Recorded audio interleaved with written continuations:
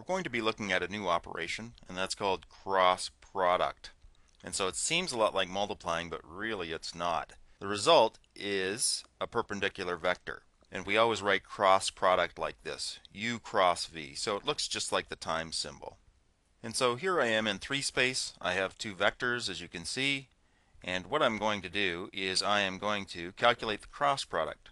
So u cross v and it's really hard to see because I've ended up with a very big vector but this vector is perpendicular in every way to the other two.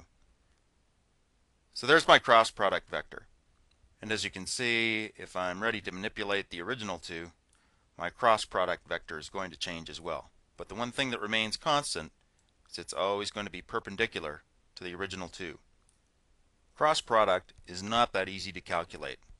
We're going to do one numerical example and we're going to use a pattern to help us calculate the cross product. When we're given two vectors, I arrange the numbers thusly. I take the second coordinate in the first vector, the third coordinate, the z coordinate, the x coordinate, and then I end in the y coordinate again. And I arrange them like that. Similarly, for the second vector, I start with the y-coordinate, line it up underneath the first vector y-coordinate, the z-coordinate, the x-coordinate, and I end in the y-coordinate again. I've spread them out a little bit just to make it a little more obvious to follow. Next is the operation that's going to give me the three coordinates of the resulting vector.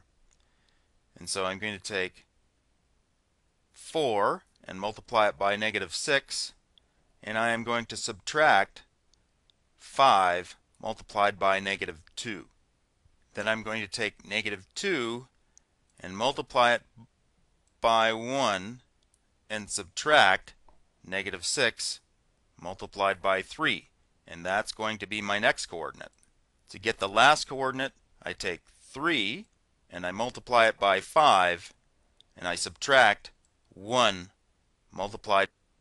And so the ultimate result of all that work is that. Negative 24 plus 10 is my x-coordinate, negative 2 plus 18 is my y-coordinate, 15 minus 4 is my z-coordinate, and there is the vector that is a result of that cross product calculation. By 4. Just to have a look at that actual construction in 3 space, there are my two vectors, and it might not be that obvious that those are the vectors we chose. And what I'm going to do is I am going to construct the cross product of those two vectors. And so 3, 4, negative 2 cross 1, 5, negative 6. And there's my cross product vector. As you can see, it's perpendicular. And it has those coordinates. And so that is the calculation of cross product.